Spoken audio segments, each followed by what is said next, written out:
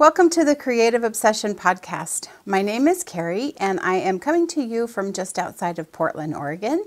Uh, this is episode 33. Today is May 11th, 2017, and thank you so much for joining me.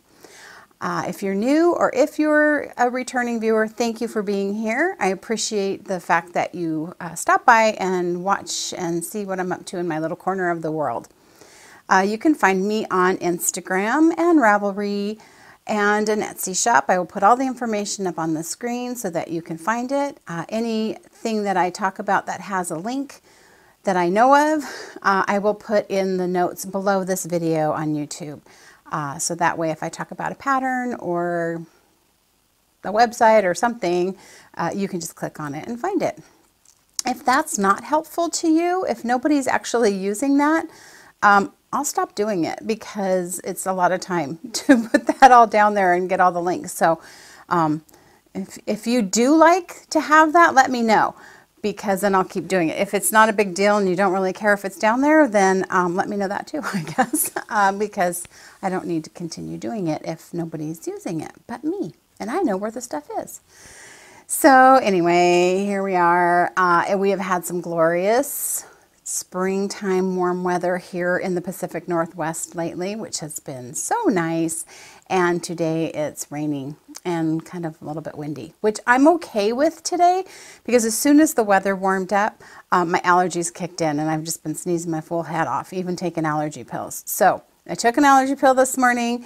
Um, so far I feel like I'm okay, so hopefully I don't get the sneezies. Um, with the rain, it kind of knocks the pollen down a little bit and um, I'm hoping that helps with the allergies. But having the sunny days and the warmer weather was just so glorious. Uh, we got our bikes all cleaned up and tires pumped up and went for a nice bike ride, which we plan on doing more of in, as the weather uh, continues to clear up. Um, we don't usually go very far. We just, uh, we have this loop that we like to do from here and it kind of loops around through um, farmland. And if we do that and come all the way back here, it's about a 12 mile uh, bike ride and that's just really nice. Not a lot of traffic, it's relatively flat. It goes through farmland, which is really pretty. So we hope to get back to doing that because um, it was really fun. So now, I, if you saw on Instagram, I posted a picture of us with Millie in her little basket in the back, and she just loves riding in that. Um, so I'm going to try and concoct a um, like a shade for her. So she's in a milk crate, plastic milk crate type box that is bolted to the back of my bike. And um, being that she's black and there's no shade, she's not really getting much wind because I'm blocking the wind for her. When it's a warm summer day, um, she gets really hot. So I'm thinking of taking uh, some PVC pipe and put, um, attaching it in the corners of that and then making a little sunshade on the top. So she's going to look like a little princess back there, but at least she won't be in the blasting sun and hopefully it doesn't freak her out. so I'm going to try it. That's my next craft project. I think that I'm going to try and work on and see if it works. If not, then she'll just ride the way she's riding. Um, I don't have a lot of finished objects in this episode. I have a couple of WIPs that I want to show you, but I was also busy making a craft project that I'll talk about in a little bit for Mother's Day. So to begin the full fledge of the episode, I like to talk about the quilt that's on the wall. Well, today I'm in a different spot. I'm in front of my sewing machine because the quilt's pretty small and it would just get lost on that big wall. It's just kind of balancing on the knobs of my cabinet, so hopefully it stays and it doesn't fall off because it'll scare the bejeebers out of me. But this is a quilt that I made back in 2011. I took a workshop with Susan Carlson and she's known for um, doing collage type quilts. And so um, myself and another gal that uh, that I met through quilting, we took a workshop in Sisters, Oregon, which is one of my favorite places. So it was cool. And we kind of got, we learned how to uh, approach this type of quilt. So what that is, is it's made up of a gazillion little pieces that were cut out of fabrics to get a certain shade or a certain shape or whatever to, um, to, to create the animal or whatever it is that you're creating. So I, uh, what you start with is a piece of muslin. I just drew out a butterfly shape with a marker on the muslin and then you just start filling in with your different bits and pieces of fabric. So I had been collecting fabrics knowing I wanted to do this and you just need little bits. So I have tubs and tubs of little bits in all different colors because I want to do more of this and I just haven't I just haven't done it because you have to kind of make a big mess. You really got to get spread out and if you've been watching for a while, you know that I just run through things pretty quickly and I'll pick it up again and it'll be something I do again. But this was really fun to do. Um, I, you know, like I said, I built up with a lot of different kinds of fabrics like this orange fabric in here. Those are actually carrots.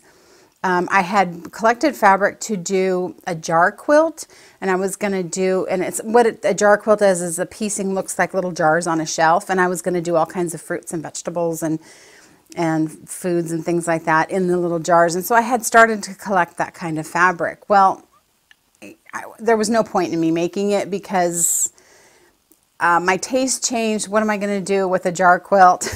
Nobody else is going to want it. So I used that fabric and it gave the illusion of kind of like stripes in that area, but they're actually carrots. So, you know, cutting out like that shape, that's a flower. I better not touch it. It's liable to fall off. So um, you just sit there and you glue it with um, tacky glue and you just take a little piece of glue on your finger and you put it on the back of the fabric and stick it all on and when it's all done the way you want it to look then you quilt over the top of it and that actually sews all those piece, pieces down. So I had done the butterfly shape and then I cut that shape out so that, that the extra uh, layer was just behind the butterfly stuck it down, quilted over the top of it, and that's what you've got. Um, I love it. I would like to make another one. It was really fun to do, but like I said, um, it, it creates a mess because you have to have so much fabric pieces out because you, you're auditioning a lot of different ones. Like, is this going to give me the lightness and darkness that I need? Um, is it going to make give the illusion of the stripe that I need? But if you want to see some really amazing work, you should look up Susan Carlson um, because she just does phenomenal work. One of her pieces, I think that's my all-time favorite, is she did a 22 foot long, I think it was 22, 20 or 22 foot long crocodile called Stevie. And um, it's, it's huge. And it's all done in this technique and it is amazing absolutely amazing. So I will put a link down below because I'm not sure exactly off the top of my head what her website is. Probably susancarlson.com, but I'll put that down below and I, and I highly recommend you take a look. She was a really not, good teacher and a nice teacher and I was really glad that I did it. I had a wonderful weekend in Sisters and um, so this holds memories of that as well as just uh, getting a chance to do the quilt. Uh, so yeah, so that's my butterfly. That's the story behind it. And um, I hope it just stays up there for the rest of the podcast. I want to uh, talk about, or just remind everybody, we've got the springtime single skein shawl knit along that I'm co-hosting with Tracy from Thimble and Thread Make. Um, I have not touched my shawl, I'm sorry to say. I've really been working on the crocheted blanket that I'll kind of touch on here in a little bit. So I haven't been, I haven't even touched my shawl. I may have touched it. I may have done a row, that's not been what I've been grabbing to work on. So um, hopefully you guys are still working on them and getting them done. There's been several entries in the FO thread in the Ravelry group and um, I'm going to extend it. It was supposed to go to May 15th, but um, because I'm recording today and I won't record again until a couple of weeks, I'm going to extend it. So you guys get a few extra days. So I'm going to extend it to May 22nd because then I'll record like the 23rd or 24th. And so uh, I will close the thread that day. So finish up your, your shawls if you've got them. We've got a lot of great prizes, which I've listed uh, at the beginning of that thread. And um, yeah, it's been really fun and, and I appreciate everybody who has participated. I'm sorry I haven't been better about it. My shawl's probably halfway done. Um, the shawl's been a nice knit, but it's not a fast knit. So um, it's just taking me a little longer. And then with me really pushing to get this blanket done, I've been really having to put my efforts there. I haven't even been really knitting on my socks. So that shows you where that's where my head's been, where my headspace has been. So um, I did get another donation. I'm not going to use it for this KAL because I've got plenty of prizes for it, but I'm going to save it. But I want to show you. Um, I was sent from the Knotty Knit Wits. They sent me a donation of Legacy Fiber Arts. Uh, this is called Winterfell, and it's part of their Skein of Thrones yarn of the month, I think. And um, so it's a real pretty gray with speckles of pink and mint green in it. And so they donated that, which was really generous because Legacy Fiber Arts uh, yarn sells out very quickly. And so to be able to get one is kind of hard to do. So I'm going to hang on to this. We're going to give this away uh, in a future episode. But thank you, Knotty Knit Wits, for the donation. It was really uh, a surprise and a, a really nice surprise. So uh, let's go into the blanket. So I am going to talk about my trust blanket. So it's the crocheted blanket I've been working on for quite some time actually. That is knitted in blocks like this. And you knit bobbles and you use those bobbles to make words. And so I am almost done with all the blocks. I think I need to make four of this size in the dark blue, in the denim blue, the denim blue color.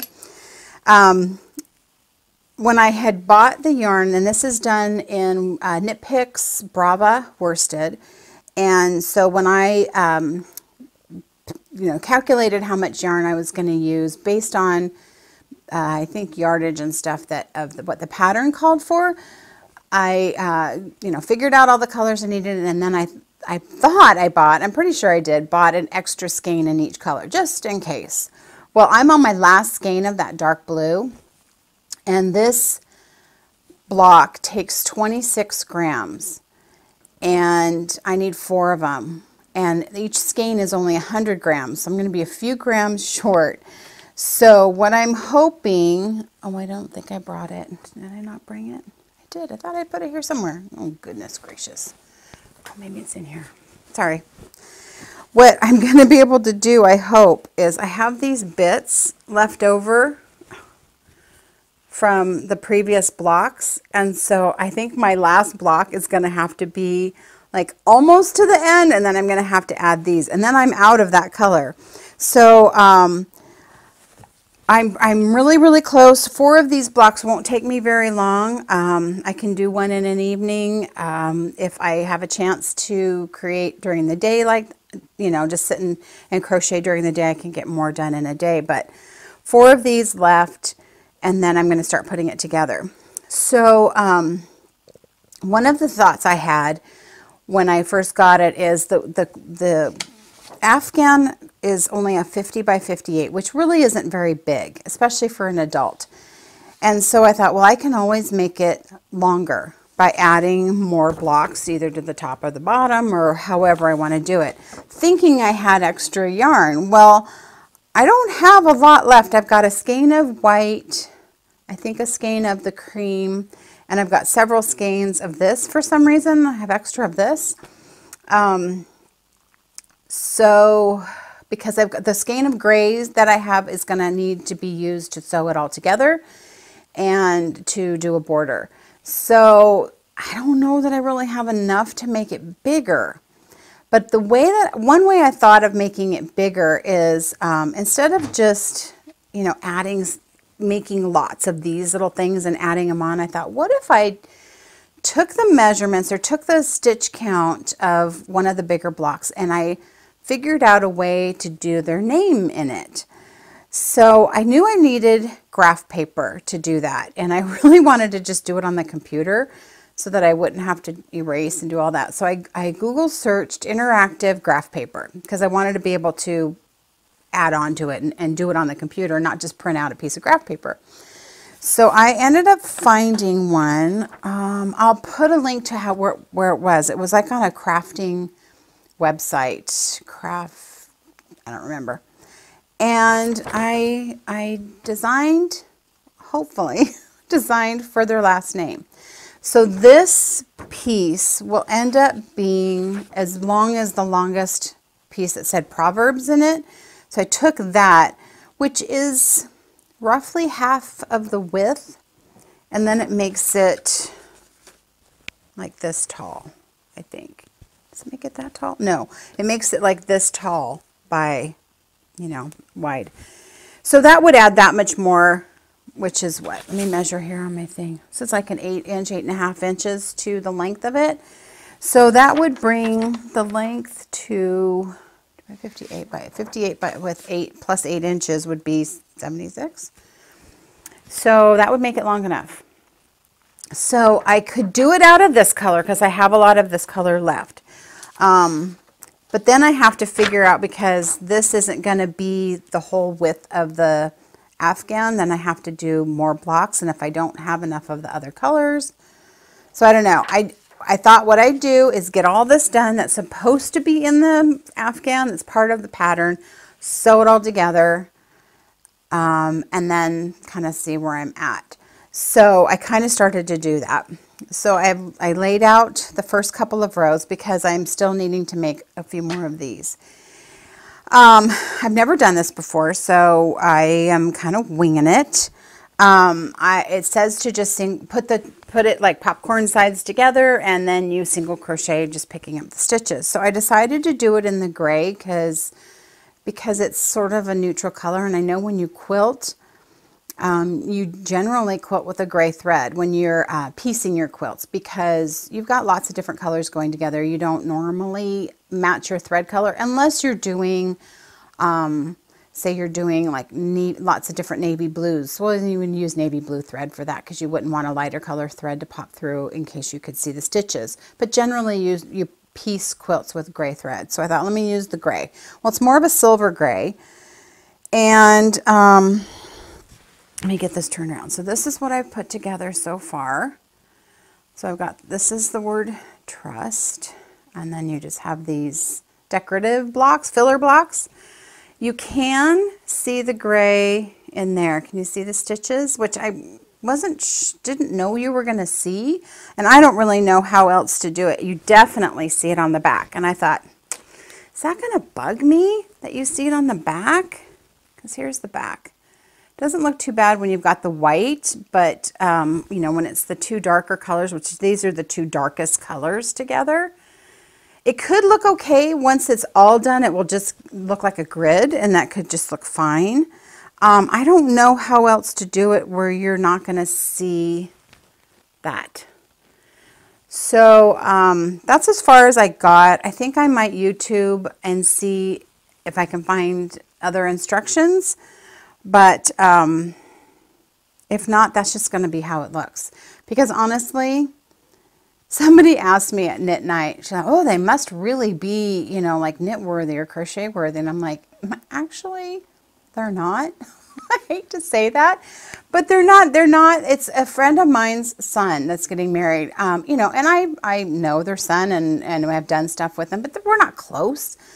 And it wasn't because of that that I made it. I really wanted to try to. I was really excited about this pattern, or just not particularly the saying or anything, but just the fact that you're putting words on something and the fact that this only cost me maybe 30 bucks and it was for the joy of making it and so i thought okay you know it's because i really wanted to make this and i'm excited to give them something really special that makes me feel really happy whether they let their dog sleep on it i can't you know i can't control what happens to it it could get trashed in a day i don't know but I'm making it anyway. And so then I think, I, am I overthinking it and trying to make it too complicated by adding their name to it?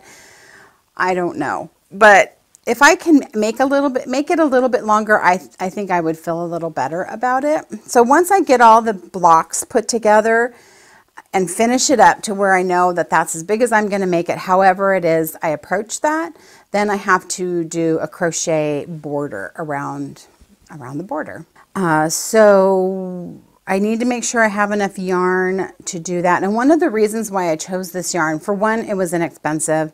It's something that they don't, there's no special washing instructions. Just throw it in the wash if you need to. And um, I thought, well, I can always get more. If I run out of a color, I can always get more. Well, the colors that I would need if I were to purchase more would be this color um, and probably the gray. So I got on Knit I thought maybe I'll just order a skein or a couple skeins just in case. They're back ordered. They're back ordered until June 9th. The wedding is May 25th or something like that. Seriously. So I may have to just make do with what I have. Um, being that it's just an acrylic yarn, I could always just go get some like Red Heart or something and do a border in that. Um, I would want to do the blocks all out of the same just so that was cohesive throughout the whole thing, but I can always add a, um, a different border, I mean, out of a different yarn. So we'll see. So I'm, I'm at the stage of putting it together. Like I said, I'm going to check um, to make sure I'm doing it right because I don't know. There's no instructions for how to do it. Just says single crochet them together. So that's what I'm doing, and I think that's just how it looks. So uh, stay tuned. I'm hoping to um, record my next episode right before the wedding so that it, when it's finished, um, I can show you. I had also, when I first started doing it, thought, well, if it's not done by the wedding, that's okay. I can always send it to them. And I thought, you know, I'm not going to see them. They're not people I see often. And I don't want to have to mail it and deal with all that and have it be sent to their apartment. And, you know, so I'm really trying to get it finished just to, be finished with it. I got started on my Sunshine Coast sweater. I had shown um, my whole swatching situation last episode, and so I went ahead and cast it on, and I'm just going to go for it, and um, got started. So I am just at the yoke stage still, um, so it doesn't look like much. But I'm enjoying it. I'm getting into the groove a little bit better. It took a little bit of time because there's a lot of markers, and I'm not used to knitting anything that, that has so many different sections. So one thing I did do is, because in the directions it'll say, you know, when you get to marker one and when you get to marker two, do this and so on. I have to count where my markers are. So I definitely, I have a good marker here that's marking the beginning of the round. And then I put orange, which starts with O, which one also starts with O. So that's one I know is one. and then I know, so when I can look at it to see what marker I'm on, I can count from the orange. So anyway, um, going along really smoothly. Like I said, I've been mostly working on the blanket, so I haven't uh, gotten too far. I'm still doing the repeats and, and all that that's making the yoke. So, uh, so far so good. My only problem is um, and this is uh, something that I'm curious about, um, what people use to count, to keep track of where you are. I have an app on my phone that I use because I always have my phone with me. And so if I'm knitting, wherever I'm knitting, I will always have my counter. And the one that I use is called KnitTink. And um, it is. So I can keep, oh, you're probably not going to see. Anyway, I can keep um, different projects all in the all in there and I so whatever project I'm on I just click on that and it pulls that up and I can keep count of, of row counts and repeats and stitch counts and whatever. So I've used that for a few years and I've been really happy with it. Um, Another one that I had heard of, and I kind of looked into it a little bit, um, and then I, I, thought, yeah, no. But when I was at Knit Night, Lucy was telling me about um, Knit Companion. And with that one, it can link to your Ravelry page. So if you're pulling up a pattern, it actually pulls up the pattern sheet. So when I pull up my, my sweater, it's going to actually pull up this. And so that's really cool. And you can highlight the, the different rows that you're on and do a little slider and blah, blah, blah. It's $10 a year as a subscription. I thought, you know, I'll try it for a year. Um, you know, I've, I've, I've wasted $10 in worse situations than that. So I figure I'm good for trying this for a year. So I went ahead and got it and, and I downloaded my pattern and everything. And I'm like, okay, this is pretty cool. You know, I can keep track. And but oftentimes when I'm knitting, I'm wanting to and I so okay, so back up a little bit. I installed it on my tablet because at the time my phone just couldn't handle um, any to put any more mem it didn't have enough memory to run another app like that. and um, I didn't want to tie up my phone with that. Plus, my tablet's bigger, and bigger is always better when you're trying to read directions. So I thought, let me put it on my on my uh, tablet. Well, that was all fine and good. But if I want to watch something on my tablet, like a podcast or something like that, I can't because I'm doing my pattern. so I thought, well, shoot, that's not going to work. And uh, I can watch that kind of stuff on TV, but if Jim's wanting to watch something stupid that I don't want to watch, I'll just put in my headphones and watch something on my tablet and go off into my little world uh, and be happy as a clam.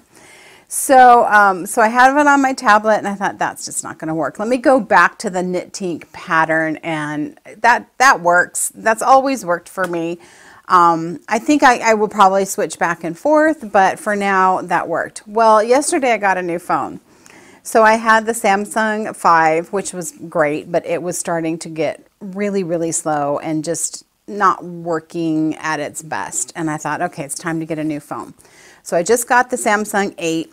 We transferred all the stuff. They did their little thing where they had to touch each other and they're, they're mating and doing their little thing and I had to check, you know, the guy was helping me and check the stuff that you wanted that information to switch over. It all switched over, it clicked on the knit tink. Oh gosh, I can't lose that. Well, for some reason, it didn't keep track of where I was on the sweater. So I'm doing these repeats, like you do these two rows 28 times. And I'm like, how many times have I done it? I don't know. It was in my thing. So I looked on my old phone and for some reason the information wasn't there. I don't know. I, so I think I'm on the 11th. I think I'm like 11 repeats into the 28. I don't really know how I can tell. I think when I get to 28, it may give me a stitch count. Like you should have so many neck stitches and sleeve stitches and all that. So aside from switching my phone over and, and possibly losing that information, that's been a really good uh, thing. So I thought, well, if there's something different out there that you like that's easy to use, I don't want to spend a lot of time trying to figure it out. It's got to be something I can just pull up, have it work for me, and um, and, and, I'm fine. I'm fine with the Knit Tink one. I paid like a couple bucks, I think, way back when, just so that I didn't have ads, and it's been well worth it. It's, it has worked perfectly fine for me for everything that I've been doing thus far and I can have just, like I said, a ton of projects in there. So that brings, you know, made me think of, I wonder if there's something else out there, but um, I'll get it back on track. Everything else was fine. It was just for the sweater. I can't exactly remember how many repeats. I'll figure it out. It's not going to be the end of the world. Um, but yeah, I do like my new phone, by the way. it is really good. The camera is really good. I'm even considering recording the podcast with the camera uh, just for ease of uh, showing you things because with the camera I use now, it's my Canon and it autofocuses, but it's a fixed focus. So if I've got it focused on me, but I can't, it won't continually focus. So if I go closer, it's not going to follow that. So I thought maybe I'll do it with my phone. I don't know. We'll see. Okay, so that, um, my vanilla socks haven't gotten very far. My shawl, I'm looking at my notes here. My shawl for the KAL, I haven't gotten very far. Um, so that's what I've been doing. I did get some new things though, and some new things are very exciting to me. So I um, follow Rose Haven Yarn Shop that um, they are out of Ontario, Canada. And she has these blankety blanks. So there's sock blanks that are so cute. And look at this one. So it's all, oops, sorry. It's all um, little trailers that she has dyed. So uh, this is 80, an 80-20 superwash nylon, fingering weight 135 yards, 115 grams. So I love an 80-20 because I just feel like it's nice and soft and it's a little plumper and I like that. So uh, I'm going to knit some socks with this and I'm going to do it when I go camping. Um, we're going camping next week. Probably won't be on that trip, but uh, in June and into July, we're going to be taking a long trip to Yellowstone. So I thought that might be a good project is to do this on, eh, when we go to Yellowstone. And then um, I should have about a third of the blank left over. And so what I thought I would do, I saw Andy from Andre Knits Um, she does beautiful sock blanks herself, and she had taken one of her sock blanks and um, picked up stitches along the edge and knitted a little bit, knitted it taller, and uh, made a pillow out of it. And I thought, wouldn't that be a cute pillow in my trailer? so, um, really, really happy with this. So, so adorable. Leslie was just a doll to work with. Um, she had posted that she had these on uh, Instagram and that she was going to a show. And I thought, oh gosh, I would love to get my hands on one, but I knew she was going to the show. And she was like, fine, you know, just give me a call and, and we'll take care of you. And she did. So Leslie was super cool to work with. She's got adorable other sock blanks and stuff. Um, she has a yarn shop in Ontario, which I won't be going to, but I uh, would definitely buy blanks from her again. So I also purchased, let me look for her card. Oh, Credola. Where is it? Where'd it go? I don't know. Sorry, I wanted to make sure I got the information right. So I purchased a skein of yarn from Hana Made It. She's on Etsy. And look at that. This is called Your Purple is Showing. It's an 85 superwash merino, 15% nylon. And it is, I don't know how many yards it is. Doesn't say it. But it's probably what's typical. You get 400 and some yards. I don't know what I'm going to make with it. I'm going to put it with some something, I'm pretty sure. Um, it's very soft. It is a thinner, a little bit of a thinner yarn, so um, it's probably got quite a bit of yardage on it. But it doesn't say on her card. I just realized that. Anyway, so yeah, very pretty. Your purple is showing. That's so me. And it's really bright pink and really lightly speckled and very pretty. So I was happy with that purchase. Uh, I talked when I first started about a craft project that I uh, did, and um, I made some things for Mother's Day. So I've already given my mom hers, but I made another one for Jim's mom, a little bit different, and we're going to get together with his family, and we're going to um, a family member's house who just moved, and so we're gonna. I got made one as a housewarming as well. So what I did, excuse me, just a second, is I painted flower pots. So this is just a terracotta flower pot, and I uh, spray painted it with primer, and then I spray painted it after that dried with black on this particular one. And then I just took my craft paint, my acrylic craft paints that some of them weren't any good because I haven't used them in a really long time, um, but managed to get most of them to work. And then I just used the end, the uh, handle end of the paintbrush and just made dots and just, uh, just did a dotted design all around it. And I, I love it. I think it looks kind of um, mosaic almost. So, and then I painted the inside rim, which you figure your dirt's going to go pretty close to the top, but I wanted that color to kind of show. And once I was all done with it, I just clear coated it and um, covered it with clear coat. So I also painted the little dishes that they sit in so that it matched. I love it. Let me put that one there. Um, I'll put a picture in of my mom's that I did. So what I did is I got these solar lights at the store. So I don't know if that'll do it because you can kind of see the lights on. Um, they charge in the light and then when it gets dark they turn on. And so I, I put it in the middle of the pot and then planted flowers around it, which I'm going to do with this one. And then I tried, so I'm not a painter. I really don't know how to paint but um, I like to play with it. So this is the one that I'm giving as a housewarming, uh, my attempt at a flower. so like I said, I'm not a painter, but I figured it's a flower pot. What difference does it make? So I just painted a giant like pinkish daisy and a, I don't know, whatever the heck that is. because my edges weren't super perfect, I on this one I went over, I just painted a black line and then did white dots over it to kind of uh, camouflage the lack of being perfect. So this one's painted a dark purple and I did a lavender on the inside and then it has a purple base for that. So I, am going to fill them with flowers and um, they will both be gifts to give. Um, super fun to do. I, I think I might um, do one for myself because it was really fun to do. I really enjoyed the dotted one. Um, let me put a picture in here of the one I gave my mom. Uh, I met up with my mom yesterday and we spent the afternoon together and I gave her hers and I really, really liked the way hers turned out. Um, it was just, it's kind of therapeutic. You're just, especially with the dots because they don't have to look like anything. And um, yeah, so it was good. Uh, if you follow me on Instagram, you saw something my mom and I did yesterday. I took her to a park that was new to me and new to her, thankfully, because a lot of times I will be like, hey, mom, you want to go do this? And she's like, oh, yeah, I've already done that.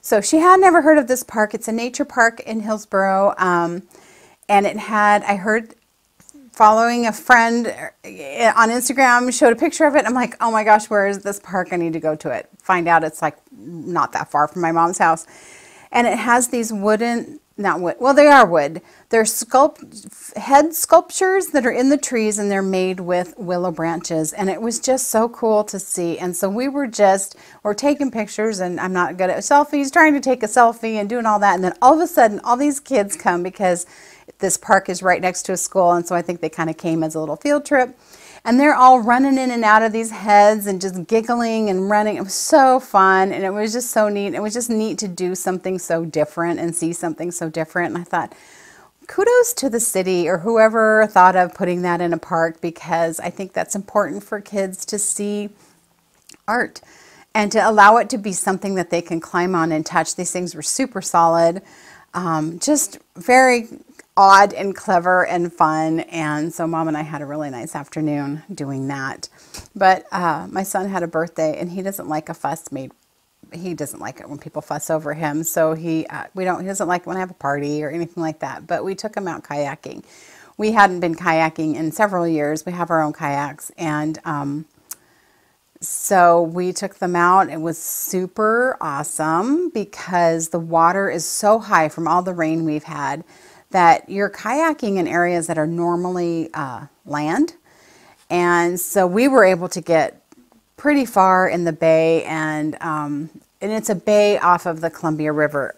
So the Columbia River is the main river that separates Oregon and Washington. It's a big river. Um, that's a little hard to kayak in because the current's pretty strong and you got to watch out for barges and boats. And But we just tootled around in the bay. Um, my son's fiance hadn't ever kayak- kayaked before, so we wanted to keep it easy. And we, we kayaked for several hours and, you know, it was just, it's just a lot of fun. And we got, we would like go through the trees and we thought, you know what? You're not normally able to go through this. This is normally like an island. So uh, just spent a glorious day. It was just so nice. Um, and so he had a good birthday, which was nice to be able to do. And so we plan on doing that more often too. I even made some camping plans in July where we're going to camp along a lake so we can take the kayaks and go camping and, and do all that kind of stuff. So uh, anyway, that's about all I have. I am going to show a couple of things that I have new in my shop. And uh, so if you're not interested in that, then you can uh, say goodbye now. And thank you so much for watching. And if you're curious to what I've got just recently put in my shop, then stick around. Okay, I wanted to show you some of the new colors that are available in my shop. I wanted to get some mostly solids, so I'm calling them tonals because they're not like a complete solid color. But you have Not a Cloud in the Sky, Cotton Candy, Spearmint, kind of going with the food theme there, it sounds like. You Are My Sunshine. It's a real soft, buttery yellow color. Sunshiny yellow, I should say. Crush, like the drink. Uh, this is a fun, let me put these down. Ugh, this is a fun one. This is Wake Me Up Before You Go Go because it reminded me of the 80s and you got to have Wham with the 80s and Wake Me Up. So that was a fun one. Um, I brought back Delphinium uh, done a little bit different than I had done it in the past. I haven't had that in my shop for a while, but um, got delphinium, not delphinium, yeah, delphinium, uh, and berry cobbler, which is berry colors, blueberries and red berries. So those are new in the shop. Oh, and then I've got some mini skein sets. This is my warm and cozy set. So you've got navy, purple, teal, green, and orange. Uh, this would be a really pretty set to put together in a garment or as a, add as accents or even to use as heels and toes for socks. Um, I'm gonna, my plan is to do a couple different sets to have one that's got some brights in it and have maybe some, some um, pastels. But I just, I haven't had time to be dyeing more recently this week and probably won't dye until I get done with camping. So when I do, I'm going to get some more mini sets in the shop and um, yeah. So thank you to everybody who has supported my shop. I really do appreciate it. And um, yeah, so I will be going camping. I'm going to take some pictures and videos of that, hopefully. Uh, it's I'm going over to Central Oregon, which is where I tried to record, if you remember back, episode nine, I think, maybe 10, something like that. I tried recording from camping and it was just too hard. It's just too, it's just too weird to, to talk to a camera when people are walking by. I'm not going to do that again. But I'm hoping to get some footage. I don't know what we're going to be able to do because I don't think the weather's supposed to be super wonderful. Um, so hopefully we get to do something. But my plan is, while we're there, to finish up that crochet blanket and um, be done with it. So hopefully I'll have that as a finished object to show you next time. Have a fabulous next couple of weeks. Have a good Mother's Day, which is coming up on Sunday. And I will talk with you all again in a couple of weeks. Thanks for watching.